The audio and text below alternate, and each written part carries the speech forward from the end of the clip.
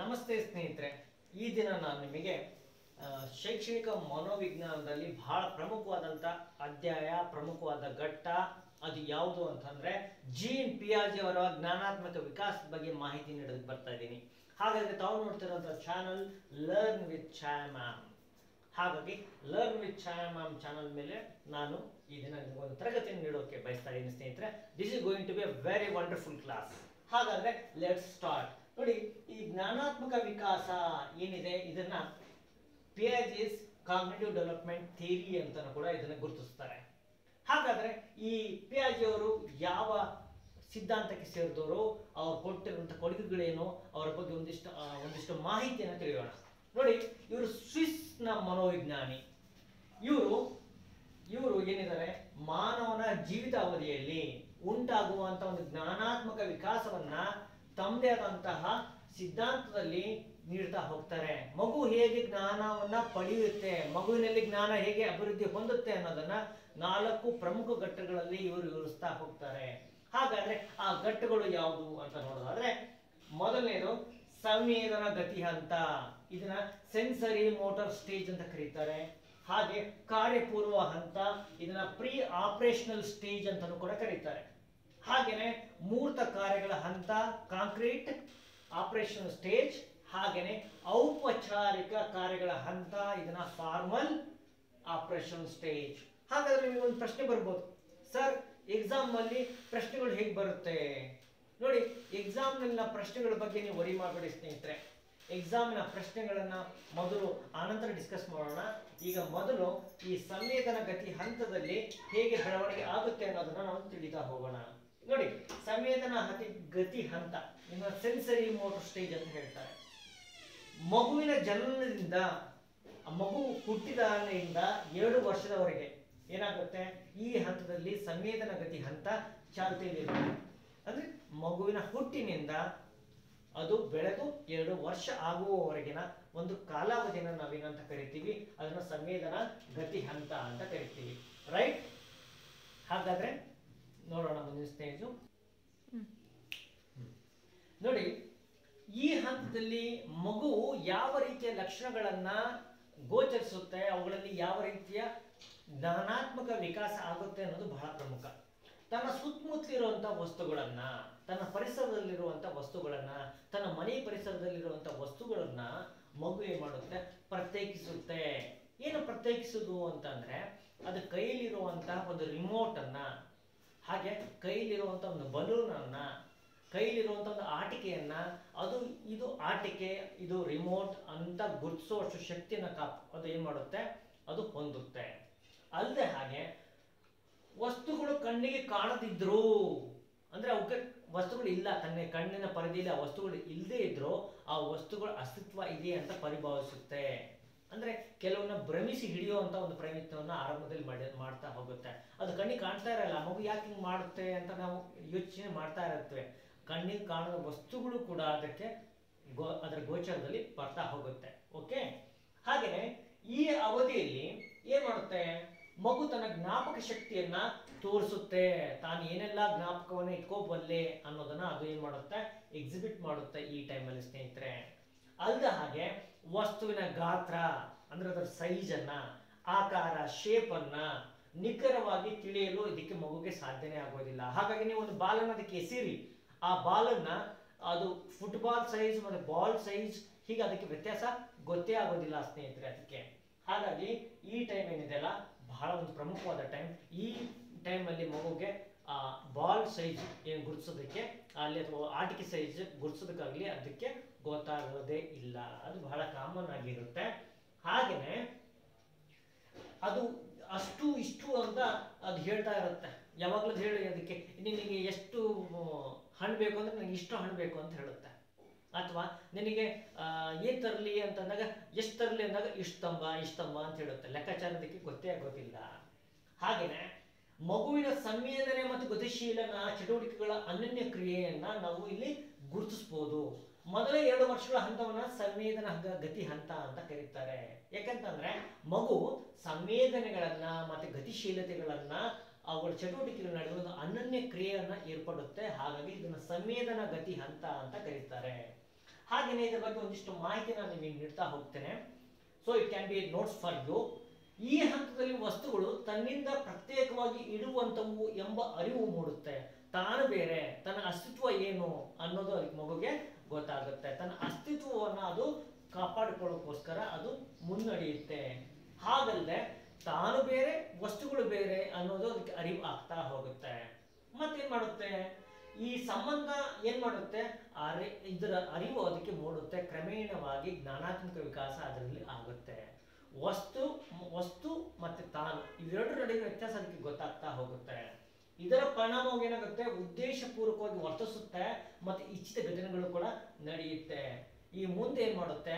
ಅದು ತನ್ನ ಅದರಲ್ಲಿ ಕಲಿಕೆ ಉಂಟಾಗುತ್ತೆ, ಜ್ಞಾನಾತ್ಮಕ ವಿಕಾಸ ಉಂಟಾಗುತ್ತೆ. ಹಾಗಾಗಿ ಇದು ಬಹಳ ಪ್ರಮುಖವಾದಂತ ಒಂದು ಹಂತ. ಹಾಗೇನೆ ಎರಡನೇ ಹಂತಕ್ಕೆ ಹೋಗೋಣ. ಸೆಕೆಂಡ್ ಹಂತಕ್ಕೆ ಹೋಗೋಣ. ಕಾರ್ಯಪೂರ್ವ ಹಂತ ಪ್ರೀ ಆಪರೇಷನಲ್ ಸ್ಟೇಜ್ ಅಂತ ಕರೀತಾರೆ. ಇದು ಎರಡು ವರ್ಷದಿಂದ, ಮಗು ಎರಡು, ಮಗುವಿನ ಎರಡು ವರ್ಷದಿಂದ ಏಳು ವರ್ಷದವರೆಗಿನ ಹಂತದವರೆಗೆ ಇರುತ್ತೆ ಸ್ನೇಹಿತರೆ. ಅಂದ್ರೆ ಈ ಹಂತದಲ್ಲಿ ಏನಾಗುತ್ತೆ ಅಂದ್ರೆ ಈ ಹಂತದಲ್ಲಿ ಪದಗಳನ್ನ ಅಂದ್ರೆ ಓ ವಕ್ಯಾಬ್ಲರಿಯನ್ನ ಅದು ಬಳಸ್ಕೊಳ್ಳುತ್ತೆ. ವಕ್ಯಾಬ್ಲರಿ ಅಂದ ತಕ್ಷಣನೇ ನಾವು ನೀವು ಕಲಿಯುವಂತ ವಕ್ಯಾಬ್ಲರಿ ಅಲ್ಲ, ತನ್ನ ಸುತ್ತಲೂ ಮುತ್ತಲು ಇರುವಂತಹ ಪರಿಸರದಲ್ಲಿರುವಂತಹ ವಕ್ಯಾಬ್ಲರಿ ತಂದೆ, ತಾಯಿ, ಅಣ್ಣ, ತಂಗಿ, ಸಂಬಂಧಗಳನ್ನ, ವಸ್ತುಗಳ ಬಳಕೆಯನ್ನ ಇದಕ್ಕೆ ಅದಕ್ಕೆ ಅರಿವು ಬರ್ತಾ ಹೋಗುತ್ತೆ. ವಯಸ್ಸು ಕಳೆದ ಹಾಗೆ ಐದು, ಆರು ವರ್ಷಗಳ ಹಾಗೆ ಅದರ ವಕ್ಯಾಬ್ಲರಿ ಇನ್ಕ್ರೀಸ್ ಆಗ್ತಾ ಹೋಗುತ್ತೆ.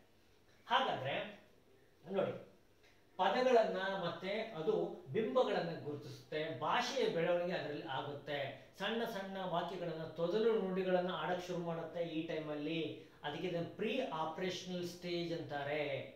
ಕಾರ್ಯಪೂರ್ವ ಹಂತ ಅದು ಪೂರ್ಣ ರೂಪದಲ್ಲಿ ತನ್ನನ್ನು ತಾನು ಕಾರ್ಯದಲ್ಲಿ ತೊಡಗಿಸುವ ಮುನ್ನದ ಹಂತ ಇದು ಇದೆ. ಒಂದು ರೀತಿ ಲರ್ನಿಂಗ್ ಸ್ಟೇಜ್ ಅಂತಾನೆ ತಾವು ಗಮನಿಸಬಹುದು ಹಾಗೆ ಮಗುವಿನಲ್ಲಿ ಅಹಂ ಕೇಂದ್ರಿತವಾಗಿರುತ್ತೆ. ಮಗು ಸುತ್ತಲಿರುವಂತ ವಸ್ತುಗಳು, ವ್ಯಕ್ತಿಗಳು ತನ್ನ ಸರ್ವಿಸ್ಗಿದ್ದಾರೆ ತನ್ನ ಸೇವೆಗಿದ್ದಾರೆ. ತನಗೋಸ್ಕರ ಇವೆಲ್ಲ ಇರೋದು ಅಂತ ಭಾವಿಸುತ್ತೆ.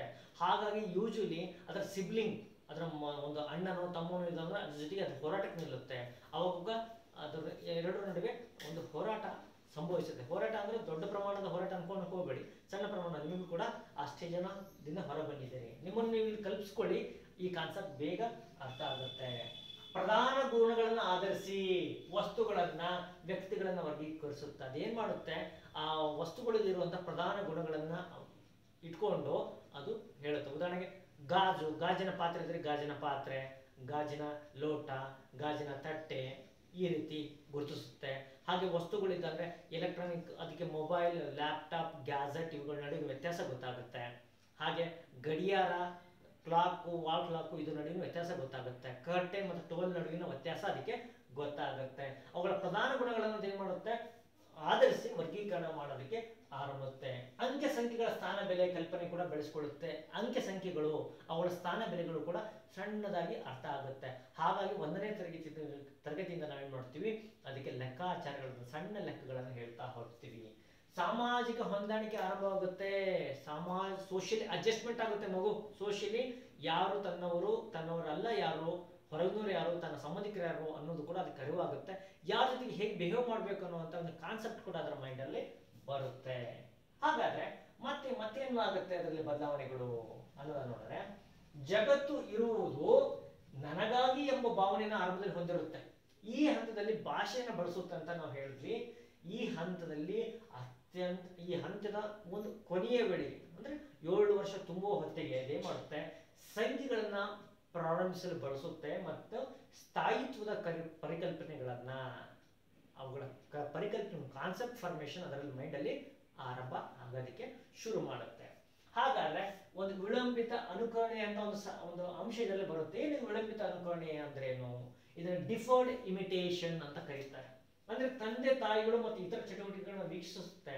ತಂದೆ ತಾಯಿಗಳು ಯಾವೆಲ್ಲ ಪದಗಳನ್ನು ಬಳಸ್ತಾರೆ, ಅವರ ಸಂಸ್ಕೃತಿ ಆಧಾರವಾಗಿ ಅವರ ವಕ್ಯಾಬ್ಲರಿ ಇರುತ್ತೆ, ಅವರು ಬಳಸುವಂತ ಪದಗಳು ಇರುತ್ತೆ. ಆ ತಂದೆ ತಾಯಿಯಿಂದ ಹಿರಿಯರಿಂದ ಗುರಿಗೆ, ಗುರು ಹಿರಿಯರಿಂದ ಏನೆಲ್ಲ ಅವರು ಬಳಸುವಂಥ ವಾಕ್ಯಗಳನ್ನು, ರಚನೆಗಳನ್ನು ಅದು ತನ್ನನ್ನು ತಾನು ಇಮಿಟೇಟ್ ಮಾಡ್ತಾ ಹೋಗುತ್ತೆ. ತನ್ನ ಪರಿಸರದಲ್ಲಿರುವಂತಹ ಭಾಷಾ ಜ್ಞಾನವನ್ನು ಅದು ಇಮಿಟೇಟ್ ಮಾಡುತ್ತೆ. ಇದನ್ನು ವಿಳಂಬಿತ ಅನುಕರಣೆ, ಡಿಫೋರ್ಡ್ ಇಮಿಟೇಷನ್ ಅಂತ ಕರೀತಾರೆ. ಇದಕ್ಕೆ ಚಿತ್ರ ರಚನಾ ಸಾಮರ್ಥ್ಯ ಬೆಳೆಯುತ್ತೆ.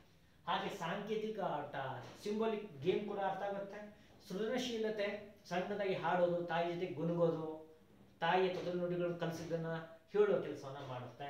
ಕಲ್ಪನಾತ್ಮಕ ಸಾಮರ್ಥ್ಯ ಕೂಡ ಇಮ್ಯಾಜಿನೇಷನ್ ಹೇಳುತ್ತೆ. ಒಂದು ಕತೆ ಹೇಳಿದ ಅಂದಾಗ ಆ ಕಥೆಯಲ್ಲಿ ಬರುವಂತ ಚಿತ್ರಗಳನ್ನ, ಬಿಂಬಗಳನ್ನ, ವ್ಯಕ್ತಿಗಳನ್ನ ತನ್ನದೇ ಅಂತ ಕಲ್ಪನೆಯಲ್ಲಿ ಮೂಡಿಸ್ಕೊಳ್ಳುವಂತ ಒಂದು ಪ್ರಯತ್ನವನ್ನು ಇದು ಮಾಡುತ್ತೆ.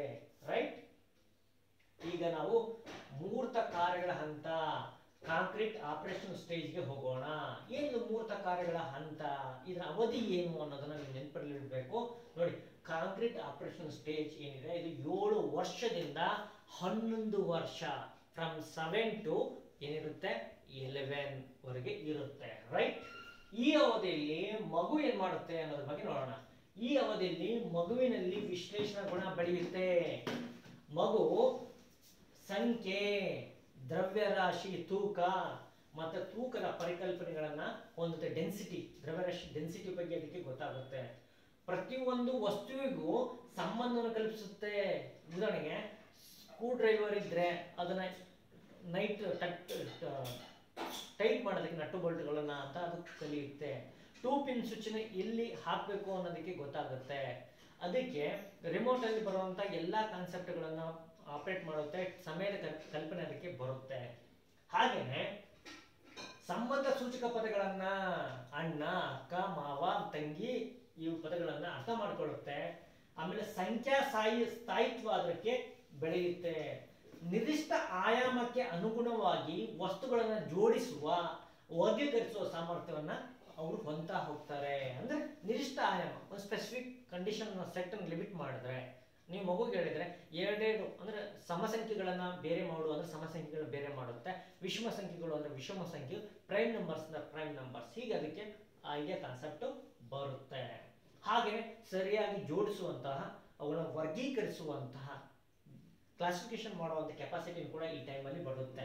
ಎಕ್ಸಾಂಪಲ್ ಏನ್ ಕೇಳ್ತಾರೆ ನಿಮಗೆ ಅಂತ ಪ್ರಶ್ನೆ ಬಂದಾಗ, ಮಗುವಿನಲ್ಲಿ ವಸ್ತುಗಳನ್ನ ಜೋಡಿಸುವ ಮತ್ತು ವರ್ಗೀಕರಿಸುವ ಸಾಮರ್ಥ್ಯ ಜೀನ್ ಪಿಯಾಜಿಯವರ ಪ್ರಕಾರ ಯಾವ ಹಂತದಲ್ಲಿ ಮೂಡಿ ಬರುತ್ತೆ ಅಂತ ಹೇಳ್ತಾರೆ. ಮಗುವಿನಲ್ಲಿ ಭಾಷೆ ಸಾಮರ್ಥ್ಯ ಯಾವಾಗ ಮೂಡಿ ಬರುತ್ತೆ ಅಂತ ಕೇಳ್ತಾರೆ. ತಂದೆ ತಾಯಿಗಳನ್ನ ಸುತ್ತಮುತ್ತಲು ಬಂಧು ಬಳಗನ್ನ ಗುರುತಿಸುವಂತ ಶಕ್ತಿ ಯಾವಾಗ ಬರುತ್ತೆ ಅನ್ನೋ ಪ್ರಶ್ನೆ ನಿಮಗೆ ಎಕ್ಸಾಮ್ ಅಲ್ಲಿ ಬರುತ್ತೆ. ಹಾಗೇನೆ ನೋಡಿ, ಕಲಿಕಾ ಸಾಮರ್ಥ್ಯ, ಜ್ಞಾಪಕ ಶಕ್ತಿ ಮತ್ತು ಭಾಷಾ ಅಭಿವೃದ್ಧಿಯನ್ನು ಹೊಂದ್ತಾರೆ. ನೋಡಿ, ಅವರ ಕಲಿಕಾ ಸಾಮರ್ಥ್ಯ ಲರ್ನಿಂಗ್ ಕೆಪಬಿಲಿಟೀಸ್ ಇನ್ಕ್ರೀಸ್ ಆಗುತ್ತೆ. ಹಾಗೆ ಮೆಮೊರಿ ಎನ್ಹ್ಯಾನ್ಸ್ ಆಗಿರುತ್ತೆ. ಭಾಷಾ ಅಭಿವೃದ್ಧಿ ಲ್ಯಾಂಗ್ವೇಜ್ ಡೆವಲಪ್ಮೆಂಟ್ ಕಂಪ್ಲೀಟ್ ಆಗಿ ಆಗಿರುತ್ತೆ. ಹಂಡ್ರೆಡ್ ಪರ್ಸೆಂಟ್ ಅಂತ ಹೇಳಕ್ ಬರದೇ ಇದ್ರು ಒಂದು ಕಮ್ಯುನಿಕೇಶನ್ ಲೆವೆಲ್ ತುಂಬಾ ಚೆನ್ನಾಗಿ ಇಂಪ್ರೂವ್ ಆಗಿರುತ್ತೆ. ನೋಡಿ ಲೈಫೇ ತಗೊಳುತ್ತೆ, ಸರಿಯಾಗಿ ಕಮ್ಯುನಿಕೇಟ್ ಮಾಡೋದಕ್ಕೆ ಯಾವ ವ್ಯಕ್ತಿ ಸರಿಯಾಗಿ ಕಮ್ಯುನಿಕೇಟ್ ಮಾಡ್ತಾನೆ, ಅವ್ನ ಜೀವನದಲ್ಲಿ ಸರಿಯಾಗಿ ಯಶಸ್ಸನ್ನು ಹೊಂದ್ತಾನೆ, ಆದ್ರೆ ಸಾಕಷ್ಟು ಜನಕ್ಕೆ ಇದರ ಕೊರತೆ ಕಂಡು ಬರುತ್ತೆ. ಯಾಕಂತಂದ್ರೆ ಈ ಹಂತ ಪೂರ್ಣ ಪ್ರಮಾಣದಲ್ಲಿ ಅವರಲ್ಲಿ ಬೆಳವಣಿಗೆ ಆಗಿರಲ್ಲ ಕೆಲವರಲ್ಲಿ. ಕಳೆಯೋದು, ಕೂಡೋದು, ಗುಣಿಸೋದು, ಬಾಕ್ಸೋದು, ಇವುಗಳನ್ನೆಲ್ಲನೂ ಕೂಡ ಈ ಪ್ರಕ್ರಿಯೆಗಳನ್ನ ಸುಲಭವಾಗಿ, ಲೀಲಾಜಾಲವಾಗಿ ಅವರು ಮಾಡಬಲ್ಲವರಾಗಿರ್ತಾರೆ. ಹಾಗೇನೆ ಕೊನೆಯ ಹಂತದ ಕಡೆ ನೋಡೋಣ. ಇದನ್ನ ನಾವೇನಂತೀವಿ ಔಪಚಾರಿಕ ಕಾರ್ಯಗಳ ಹಂತ ಫಾರ್ಮಲ್ ಆಪರೇಷನಲ್ ಸ್ಟೇಜ್ ಅಂತ. ಹನ್ನೊಂದು ವರ್ಷದ ನಂತರದ ಹಂತ ಇದು. ಫ್ರಮ್ ಎಲೆವೆನ್ ಪ್ಲಸ್ ಅಂತ ಹೇಳ್ತಾರೆ. ಎಲೆವೆನ್ ಪ್ಲಸ್ ಏನಿದೆ? ಆ ಟೈಮಲ್ಲಿ ಏನು ಮಾಡ್ತಾರೆ? ಈ ಹಂತದ ಬರುತ್ತೆ. ಈ ಹಂತದಲ್ಲಿ ಜ್ಞಾನಾತ್ಮಕ ವಿಕಾಸ ಹೆಚ್ಚಾಗ್ತಾ ಹೋಗುತ್ತೆ. ಹರಿವು ಅದರ ಹರಿವಿನ ಹಂದರ ಏರ್ತಾ ಹೋಗುತ್ತೆ. ತಾರ್ಕಿಕವಾಗಿ ಆಲೋಚಿಸುವ ಲಾಜಿಕಲ್ ಥಿಂಕಿಂಗ್ ಬೆಳೆಯುತ್ತೆ ಮೈ ಫ್ರೆಂಡ್ಸ್ ಸಮಸ್ಯೆಗಳನ್ನ ವಿಶ್ಲೇಷಿಸ್ತಾರೆ. ಅವುಗಳನ್ನ ವಿಶೇಷ ವಿಶ್ಲೇಷಿಸಿ ಅವುಗಳಿಗೆ ಪರಿಹಾರವನ್ನು ಕಂಡುಕೊಳ್ಳೋದಕ್ಕೆ ಬೇಕಾದ ಕಾರ್ಯತಂತ್ರಗಳನ್ನು ರೂಪಿಸುವ ಶಕ್ತಿ ಈ ಮಗುಗೆ ಬರುತ್ತೆ. ಊಹಾತ್ಮಕವಾಗಿ ಅವ್ರು ಏನ್ ಮಾಡ್ತಾರೆ? ಯೋಚಿಸ್ತಾರೆ. ಗೆಸ್ಸಿಂಗ್ ಪವರ್ ತುಂಬಾ ಚೆನ್ನಾಗಿ ಬೆಳೆಯುತ್ತೆ. ಹಾಗೆಯೇ ತಾರ್ಕಿಕ ಪ್ರಮೇಯವನ್ನು ಅರ್ಥ ಮಾಡಿಕೊಳ್ಳುವಂತಹ ಒಂದು ಶಕ್ತಿ ಬರುತ್ತೆ. ಅಂದ್ರೆ ಒಂದು ಅಬ್ಸ್ಟ್ರಾಕ್ಟ್ ಕಾನ್ಸೆಪ್ಟ್ಗಳನ್ನು ತಿಳಿಯುವಂತ ಒಂದು ಬರುತ್ತೆ. ಇದ್ರ ಮೇಲೆ ಪ್ರಶ್ನೆಗಳು ಕೇಳ್ತಾರೆ ನಿಮಗೆ? ಏನಂತ ಕೇಳ್ತಾರೆ, ತಾರ್ಕಿಕವಾಗಿ ಮಗು ಆಲೋಚನೆ ಮಾಡೋದು ಯಾವ ಹಂತದಲ್ಲಿ ಅಂತ ಪ್ರಶ್ನೆ ಕೇಳ್ತಾರೆ. ಅವಾಗ ಉತ್ತರ ಆಗುತ್ತೆ, ಔಪಚಾರಿಕ ಕಾರ್ಯಗಳ ಹಂತ ಫಾರ್ಮಲ್ ಆಪರೇಷನ್ ಸ್ಟೇಜ್ ಅಂತ ನಾವು ಹೇಳ್ಬೋದು. ಹಾಗೆ ಸ್ವತಂತ್ರ ಆಲೋಚನಾ ಸಾಮರ್ಥ್ಯ, ತಾರ್ಕಿಕ ಸಾಮರ್ಥ್ಯ, ಸಮಸ್ಯೆ ನಿರ್ವ- ನಿರ್ವಹಣಾ ಕೌಶಲ್ಯಗಳನ್ನ ಅವರು ಹೊಂದ್ತಾ ಹೋಗ್ತಾರೆ. ಇದನ್ನು ಕೇಳ್ತಾರೆ, ಸ್ವತಂತ್ರ ಆಲೋಚನಾ ಸಾಮರ್ಥ್ಯ ತಾರ್ಕಿಕ ಸಾಮರ್ಥ್ಯ, ಸಮಸ್ಯೆ ನಿರ್ವಹಣಾ ಸಾಮರ್ಥ್ಯಗಳು ಮಗುವಿನಲ್ಲಿ ಯಾವಾಗ ಬೆಳೆಯುತ್ತೆ ಅಂದಾಗ ಇದೇ ಆಗತ್ತೆ. ನೋಡಿ ಜಿ ಪಿಯಾಜಿ ಅವರ ಈ ಥಿಯರಿನ ಅರ್ಥ ಮಾಡ್ಕೊಳ್ಳೋದಕ್ಕೆ ನಿಮ್ಗೊಂದು ಎರಡು ಮೂರು ಕಾನ್ಸೆಪ್ಟ್ಗಳು ತಿಳ್ಕೊಳೋದು ವೆರಿ ವೆರಿ ಇಂಪಾರ್ಟೆಂಟ್ ಏನು? ಅದರಲ್ಲಿ ಒಂದು ಬರುತ್ತೆ ಸ್ಕಿಮಾ. ಏನು ಸ್ಕಿಮಾ ಅಂತಂದ್ರೆ ಪಿಯಾಜಿ ಅವರು ಹೇಳ್ತಾರೆ, ಜ್ಞಾನಾತ್ಮಕ ವಿಕಾಸ ಬಗ್ಗೆ ತಮ್ಮದೇ ರೀತಿಯಲ್ಲಿ ವಿವರಣೆ ಕೊಡ್ತಾ ಹೋಗ್ತಾರೆ. ಮನುಷ್ಯರಲ್ಲಿ ಅವ್ರು ಹೇಳ್ತಾರೆ, ಮನುಷ್ಯರಲ್ಲಿ ಉಸಿರಾಟ ಮತ್ತು ಜೀರ್ಣಕ್ರಿಯೆ ಸಹಾಯಕವಾಗುವಂತ ಒಂದು ಅಂಗವೊಂದು ಇರುತ್ತಂತೆ. ಹೂ ಅದ ಅಂಗದ ವ್ಯೂಹದಂತೆ ಜ್ಞಾನ ಗ್ರಹಿಕೆಗೂ ಕೂಡ ಸಹಾಯಕವಾಗುವಂತ ಒಂದು ಮಾನಸಿಕ ಮತ್ತು ಜ್ಞಾನಾತ್ಮಕ ಒಂದು ಹುಟ್ಟಿರುತ್ತೆ ಅಂದ್ರೆ ನಾವು ಜೀರ್ಣಕ್ರಿಯೆ ಹೇಗೆ ನಡೆಯುತ್ತೆ ನಮ್ಮಲ್ಲಿ? ಅದೇ ತರನಾಗಿ ಮಾನಸಿಕ ಪ್ರಕ್ರಿಯೆಗಳನ್ನ ಒಗ್ಗೂಡಿಸುವ, ಅದನ್ನು ಬೆಳೆಸುವ ಒಂದು ಚಟುವಟಿಕೆ, ಒಂದು ವ್ಯೂಹ ಇರುತ್ತೆ. ಆ ವ್ಯೂಹದ ಬಗ್ಗೆ ಅವರು ಮಾತಾಡ್ತಾ ಹೋಗ್ತಾರೆ. ಏನದು ಅಂತ ಹೇಳ್ತಾ ಹೋಗ್ತೀನಿ. ನೋಡಿ, ಈ ಜ್ಞಾನ ವ್ಯೂಹಗಳು ಜ್ಞಾನೇಂದ್ರಿಯಗಳ ಮೂಲಕ, ನಮ್ಮ ಪಂಚೇಂದ್ರಿಯಗಳ ಮೂಲಕ ಹೊರ ಪ್ರಪಂಚದಿಂದ ಬರುವಂತ ಹೊಸ ಸುದ್ದಿಗಳ, ಸುದ್ದಿಗಳನ್ನ ಸಂಸ್ಕರಿಸುತ್ತೆ ಅನಲೈಸ್ ಮಾಡುತ್ತೆ. ಅರ್ಥೈಸ್ಕೊಳ್ಳಲು ನಮಗೆ ಸಹಕಾರಿ ಮಾಡುತ್ತೆ. ನಾವು ಯಾರೋ ಒಂದು ಬಂದು ಯಾವುದೋ ವಿಚಾರ ತಲೆಯಲ್ಲಿ ಹಾಕಿದ್ರು ಅಂದ ತಕ್ಷಣ ಅದು ಅವರು ಪೂರ್ವಕವಾಗಿ ಹೇಳಿದಾರೋ ಅಥವಾ ನಿಜವಾದ ಸಂಗತಿ ಇದೆಯೋ ಅಥವಾ ಅದನ್ನು ಅವರು ಮ್ಯಾನುಫ್ಯಾಕ್ಚರಿಂಗ್ ಮಾಡಿದಾರೋ ಅನ್ನೋದು ಒಂದು ಅರ್ಥ ಆಗ್ತಾ ಹೋಗುತ್ತೆ. ಅಂದ್ರೆ ಹೊರ ಪ್ರಪಂಚದಿಂದ ಬರುವ ಹೊಸ ಸುದ್ದಿಯನ್ನು ನಿರ್ದಿಷ್ಟ ಸಮಯದಲ್ಲಿ ಸಂಸ್ಕರಿಸಲು ವ್ಯಕ್ತಿಗೆ ಅನುಸರಿಸುವ ವಿಧಾನವನ್ನ ನಾವು ಮಾನಸಿಕ ಕಾರ್ಯಕ್ರಮ ಅಥವಾ ಸ್ಕೀಮಾ ಅಂತೀವಿ. ಏನು ಹೊರಗಡೆ ಬರುತ್ತೆ ನೋಡಿ ಪ್ರಪಂಚದಲ್ಲಿ ಆ ವಿಚಾರಗಳನ್ನ ಅನಲೈಸ್ ಮಾಡೋ ಕೆಪಾಸಿಟಿಗೆ ನಾವು ಏನಂತ ಕರಿತೀವಿ? ಸ್ಕೀಮಾ ಅಂತ ಕರಿತೀವಿ. ಅದಕ್ಕೆ ಕನ್ನಡದಲ್ಲಿ ಏನಂತಾರೆ? ಮಾನಸಿಕ ಕಾರ್ಯಕ್ರಮ ಕಾರ್ಯಕ್ರಮ ಅಂತಾನು ಕೂಡ ಕರೀತಾರೆ. ಸ್ಕೀಮಾ ಬಹಳ ಈಸಿ ಇದನ್ನೇ ಕೇಳ್ತಾ ಇರ್ತಾರೆ. ನೋಡಿ ವ್ಯಕ್ತಿಯ ಜ್ಞಾನಾತ್ಮಕ ಸಂರಚನೆ ಒಂದು ಸಂಘಟಿಸಿಕೆ, ಸಂಘಟಿಸುವಿಕೆ ಮೇಲೆ ನಡೆಯುತ್ತೆ, ಹೊಂದಿಕೊಳ್ಳುವಿಕೆ ಮೇಲೆ ನಡೆಯುತ್ತೆ. ಹಾಗಾದ್ರೆ ಈ ಹೊಂದಿಕೊಳ್ಳುವಿಕೆ ಮತ್ತು ಸಂಘಟಿಸುವಿಕೆ ಎರಡೂ ಮಾನಸಿಕ ಕ್ರಿಯೆಗಳ ಪ್ರತಿಫಲನೆ ಈ ಸ್ಕೀಮಾ ಆಗುತ್ತೆ. ಸರಳವಾದ ಸಂರಚನೆಗಳು ಏನಿರುತ್ತೆ ನೋಡಿ? ಸರಳವಾದ ಸಂರಚನೆಗಳಿಂದ ಸಂಕೀರ್ಣ ಸಂರಚನೆಯನ್ನು ಉಂಟು ಮಾಡುವ ಸಿಂಪಲ್ ಟು ಕಾಂಪ್ಲೆಕ್ಸ್ ಏನೆಲ್ಲ ವಿಚಾರಗಳಿರುತ್ತೆ ಅವು ತಿಳಿಯೋದಕ್ಕೆ ಒಂದು ಆಯಾಮ ಬೇಕಾಗುತ್ತೆ. ಆ ಆಯಾಮವೇ ಸಂಘಟಿಸುವಿಕೆ. ಸ್ಕೀಮಾ ನಂತರ ಮತ್ತೊಂದು ಬರುತ್ತೆ ಸಂಘಟಿಸುವಿಕೆ. ಸಂಘಟಿಸುವಿಕೆ ಅಂತಂದ್ರೆ ಸರಳವಾದ ರಚನೆಗಳಿಂದ ಸಂಕೀರ್ಣವಾದಂತಹ ಕಾನ್ಸೆಪ್ಟ್ಗಳನ್ನ ತಿಳಿತಾ ಹೋಗೋದಕ್ಕೆ ಅಂತಾರೆ ಸ್ಕೇ- ಸಂಸ್ಕರಿಸುವಿಕೆ ಅಂತ ಕರೀತಾರೆ. ರೈಟ್ ಸಂಘಟಿಸುವಿಕೆ ಅಂತ ಕರೀತಾರೆ. ಸಂಕೀರ್ಣವಾದ ಸಂರಚನೆಯನ್ನ ಸಂಸ್ಕರಿಸಿ ಅನಲೈಸ್ ಮಾಡಿ, ಅದನ್ನು ಪ್ರತಿಬಿಂಬಿಸುವ, ಅದನ್ನು ಪ್ರೆಸೆಂಟ್ ಮಾಡುವ ಮಾನಸಿಕ ಕ್ರಿಯೆಗೆ ಏನಂತಾರೆ ಹೊಂದಿಕೊಳ್ಳುವಿಕೆ ಅಂತಾರೆ. ಅಂದ್ರೆ ನಿಮಗೆ ಒಂದು ಏನೋ ವಿಚಾರ ಬಂದಿದೆ. ಅದನ್ನು ಅನಲೈಸ್ ಮಾಡ್ತೀರಾ? ಅನಲೈಸ್ ಮಾಡಿ ಅದನ್ನು ಅದಕ್ಕೆ ಅದನ್ನು ಹೇಗೆ ಪ್ರೆಸೆಂಟ್ ಮಾಡಬೇಕು ಅನ್ನೋದನ್ನು ತಿಳ್ಕೊಳ್ತೀರಾ? ಅದನ್ನು ಈ ರೀತಿ ಈ ಮಾಡೋ ಪ್ರಕ್ರಿಯೆಗೆ ಹೊಂದಿಕೊಳ್ಳುವಿಕೆ ಅಂತ ಹೇಳ್ತಾರೆ. ಹೊಂದಿಕೊಳ್ಳುವಿಕೆಯಿಂದ ಏನಾಗುತ್ತೆ? ಸುದ್ದಿ ಮನೋಗತ ಆಗುತ್ತೆ. ವಿಚಾರ ಸೆಟಲ್ ಡೌನ್ ಆಗುತ್ತೆ ಮತ್ತು ಸೂಕ್ತವಾದ ಜಾಗ ಪಡೆದುಕೊಳ್ಳುತ್ತೆ. ಈ ಹೊಂದ್ ಈ ಸ್ಥಳವನ್ನು ಒದಗಿಸುವಿಕೆ ಅಂತಾರೆ. ಒದಗಿಸುವಿಕೆ ಅಂತಾರೆ. ಅಂದರೆ ನೀವು ವಿಚಾರಗಳನ್ನು ಸರಿಯಾದ ಪ್ಲೇಸ್ ಅಲ್ಲಿ ಆ, ನೋಡಪ್ಪ, ಈ ವಿಚಾರ ಜಿಯೋಗ್ರಫಿ ಸಂಬಂಧಪಟ್ಟಿದ್ದು, ಈ ವಿಚಾರ ಕರೆಂಟ್ ಅಫೇರ್ಸ್ ಸಂಬಂಧಪಟ್ಟಿದ್ದು, ಈ ವಿಚಾರ ಹಿಸ್ಟ್ರಿಗೆ ಸಂಬಂಧಪಟ್ಟಿದ್ದು, ಇದು ಇಂಗ್ಲಿಷ್ ಸಂಬಂಧಪಟ್ಟಿದ್ದು, ಇದು ಇದಕ್ಕೆ ಸಂಬಂಧಪಟ್ಟಿದ್ದು, ಇದು ನಮ್ಮ ಮನೆತನಕ್ಕೆ ಸಂಬಂಧಪಟ್ಟಿದ್ದು, ಇದು ನಮ್ಮ ಶಾಲೆ ಸಂಬಂಧಪಟ್ಟಿದ್ದು, ಹಾಗೆ ಈ ವಿಚಾರಗಳನ್ನ ನಾವು ಬೇರೆ ಬೇರೆ ಜಾಗದಲ್ಲಿ ಅದನ್ನ ಪ್ಲೇಸಿಂಗ್ ಮಾಡ್ತಾ ಹೋಗ್ತೀವಿ. ಈ ರೀತಿ ಪ್ಲೇಸಿಂಗ್ ಮಾಡೋದಕ್ಕೆ ಏನಂತಾರೆ? ಒದಗಿಸಿಕೊಳ್ಳುವಿಕೆ ಅಥವಾ ಒದಗಿಸಿಕೊಳ್ಳುವಿಕೆ ಅಂತ ಕರೀತಾರೆ. ಈ ರೀತಿ ಜ್ಞಾನದ ಬಗ್ಗೆ ಏನಾಗುತ್ತೆ? ವಿಕಾಸ ಆಗುತ್ತೆ. ಹಾಗೆಯೇ ಇನ್ನೊಂದು ಬಹಳ ಪ್ರಮುಖ ಒಂದು ಮಾದರಿ ಇದೆ. ಅಸಿಮ್ಯುಲೇಷನ್ ಅನ್ನೋಂಥ ಮಾದರಿ ಮೇಲೆ ಕೂಡ ಹೇಳ್ತೀನಿ.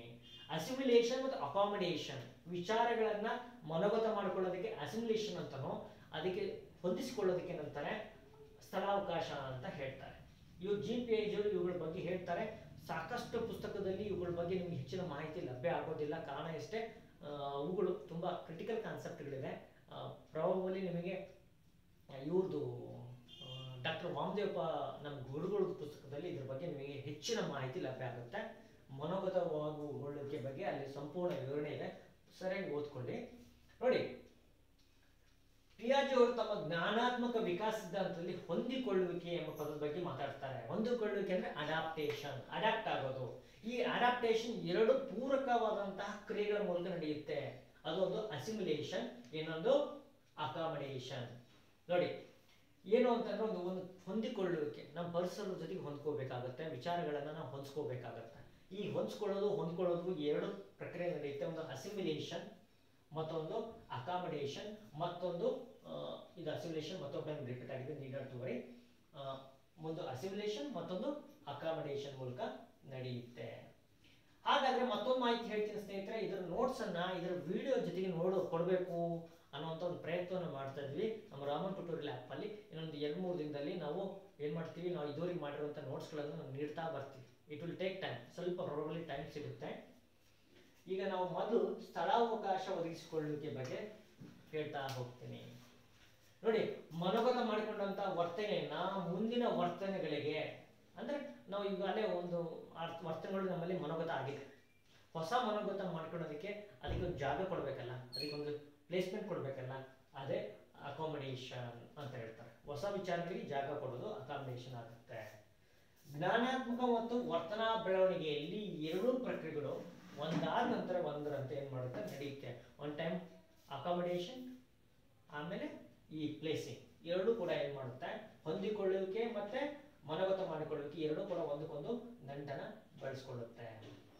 ಹಾಗೇನೆ ಇವರ ಸಿದ್ಧಾಂತದಲ್ಲಿ ಒಟ್ಟಾರೆ ಹೇಳಬೇಕು ಅಂತಂದ್ರೆ ಸಂಘಟನೆ ಆರ್ಗನೈಸೇಷನ್ ಹಾಗೆ ಸ್ವೀಕರಿಕೆ, ಸ್ವೀಕರಿಸುವಿಕೆ ಅಡಾಪ್ಟೇಷನ್ ಹಾಗೆ ಮನೋಗತ ಮಾಡಿಕೊಳ್ಳುವಿಕೆ ಅಸಿಮ್ಯುಲೇಷನ್ ಹಾಗೆ ಸ್ಥಳಾವಕಾಶ ಒದಗಿಸುವಿಕೆ ಅಕಾಮಡೇಷನ್ ಆಪರೇಷನ್ ಕ್ರಿಯೇಟ್ ಹಾಗೆ ಸಮತರತೆ ಈಕ್ವಿಲಿಬ್ರಿಯಂ ಹಾಗೆ ಗ್ರಹಿಕೆ ಕಾಂಪ್ರಿಹೆನ್ಷನ್ ಹಾಗೆ ಡಿಸೆಂಟ್ರಲೈಸೇಷನ್ ಅನ್ನುವಂಥ ಕಾನ್ಸೆಪ್ಟ್ಗಳ ಬಗ್ಗೆ ಹೇಳ್ತಾ ಹೋಗ್ತಾರೆ ಇಲ್ಲಿವರೆಗೆ ಇವೆಲ್ಲ ವಿಚಾರಗಳನ್ನ ನಾವು ಡಿಸ್ಕಸ್ ಮಾಡಿದ್ವಿ. ಬೇರೆ ಬೇರೆ ಹಂತದಲ್ಲಿ ಡಿಸ್ಕಸ್ ಮಾಡಿದ್ವಿ. ಕೆಲವು ಬರುವಂತಹ ಬಹಳ ಪ್ರಮುಖವಾದಂತಹ ಕಾನ್ಸೆಪ್ಟ್ ಹಾಗಾದರೆ ಜೀನ್ ಪಿಯಾಜಿಯವರ ಸಿದ್ಧಾಂತವನ್ನು ಎಲ್ಲಿ ಅಪ್ಲೈ ಮಾಡಬೇಕು, ಎಲ್ಲಿ ಬಳಕೆ ಮಾಡಬೇಕು ಅನ್ನೋದ್ರ ಬಗ್ಗೆ ಒಂದಿಷ್ಟು ಮಹತ್ವವನ್ನು ಹೇಳ್ತಾ ಹೋಗ್ತೀನಿ. ನೋಡಿ, ಬೋಧನಾ ಕಾರ್ಯಕ್ರಮಗಳನ್ನು ಒಂದು ಬೌದ್ಧಿಕ ವಿಕಾಸದ ಆಧಾರದ ಮೇಲೆ ಜೋಡಿಸೋದಕ್ಕೆ, ಅಂದರೆ ಈ ಸಿದ್ಧಾಂತ ಆಧಾರಿತವಾಗಿ ಈ ಬೋಧನಾ ಕಾರ್ಯಕ್ರಮಗಳನ್ನು ಹಮ್ಮಿಕೊಳ್ಳೋದಕ್ಕೆ ಈ ಸಿದ್ಧಾಂತ ಬಹಳ ಮುಖ್ಯ ಆಗುತ್ತೆ. ಪಾಠ್ಯಕ್ರಮ ರಚನೆಯಲ್ಲಿ ಒಂದನೇ ತರಗತಿ ಮಗುವಿಗೆ ಯಾವ ರೀತಿ ರಚನೆ ಮಾಡಬೇಕು? ಹಾಗೆಯೇ ಹೈಯರ್ ಪ್ರೈಮರಿಯಲ್ಲಿ ಹೈಸ್ಕೂಲಲ್ಲಿ ಯಾವ ವಿಚಾರಗಳು ಹೇಗೆ ತಿಳಿತಾ ಹೋಗ್ತವೆ ಅನ್ನೋದ್ರ ಮೇಲೆ ಇದರ ಆಧಾರದ ಮೇಲೆ ನಾವು ಪುಸ್ತಕ, ಪಾಠ್ಯಪುಸ್ತಕ ರಚನೆ ಆಗುತ್ತೆ. ಹಾಗೆ ಕ್ರಮಾನುಗತ ಬೋಧನೆ ಕೂಡ ಆಗುತ್ತೆ. ಈ ಪಾಠ ರಚನೆ ಮತ್ತೆ ಕ್ರಮಾಂಗ, ಕ್ರಮಾನುಗತ ಬೋಧನೆಗೆ ಇದು ತುಂಬಾನೇ ಸಹಾಯಕಾರಿಯಾಗುತ್ತೆ ಅಲ್ಲದೆ ಚಟುವಟಿಕೆಗಳ ಮೂಲಕ ಕಲಿಕೆ ಮತ್ತು ಸೂಕ್ತವಾದಂತಹ ವಿಧಾನವನ್ನು ಅಳವಡಿಸಿಕೊಡೋದಕ್ಕೆ ಸಹಕಾರಿಯಾಗುತ್ತೆ ಚಟುವಟಿಕೆ ಮೂಲಕ ಚಟುವಟಿಕೆ ಮೂಲಕ ಕಲಿಸ್ತಾರೆ. ಚಿಕ್ಕ ಮಕ್ಕಳಿಗೆ ಒಂದು ಚಟುವಟಿಕೆಗಳ ಮೂಲಕ ಆಕ್ಟಿವಿಟಿ ಮೂಲಕ ಕಲಿಸೋದಕ್ಕೆ ಇದು ಪ್ರೇರೇಪಣೆ ನೀಡುತ್ತೆ. ವಯಸ್ಸಿಗೆ ಅನುಗುಣವಾಗಿ ಕಲಿಕಾ ಅನುಭವಗಳನ್ನ ಒದಗಿಸೋದಕ್ಕೆ ಸಹಕಾರಿಯಾಗುತ್ತೆ ನೀವು ಒಂದನೇ ಕ್ಲಾಸ್ ಮಗುವಿಗೆ ಹೋಗಿ ಒಂದು ಹೈಯರ್ ಕಾನ್ಸೆಪ್ಟ್ ಲಾಜಿಕ್ ಕಾನ್ಸೆಪ್ಟ್ ಹೇಳೋದಕ್ಕೆ ಬರಲ್ಲ. ರೈಟ್ ಅಂದ್ರೆ ಯಾವ್ಯಾವ ವಯೋಮಾನದ ಮಕ್ಕಳಿಗೆ ಯಾವ್ಯಾವ ಕಾನ್ಸೆಪ್ಟ್ ಹೇಳಬೇಕು ಅನ್ನೋದು ಇದು ತಿಳಿಸ್ಕೊಡುತ್ತೆ. ಸಂಶೋಧನಾ ಕಲಿಕೆಗೆ ಮತ್ತು ಕಾರ್ಯಕ್ರಮಗಳ ಅನ್ವಯ ಕಲಿಕಾ ವಿಧಾನಗಳಿಗೆ ತಾತ್ವಿಕ ಹಿನ್ನೆಲೆಯನ್ನು ಬೇಸಿಕ್ ಥಿಯರಿನ ಒದಗಿಸುತ್ತೆ. ಈ ಥಿಯರಿನ ಇಟ್ಕೊಂಡು ತಾವು ಆಗಲಿ ಒಂದು ಶಿಕ್ಷಣ ವರ್ಗ ಏನು ಮಾಡುತ್ತೆ? ಕಾರ್ಯಕ್ರಮಗಳನ್ನು ರೂಪಿಸ್ತಾ ಹೋಗುತ್ತೆ ಸ್ನೇಹಿತರೆ.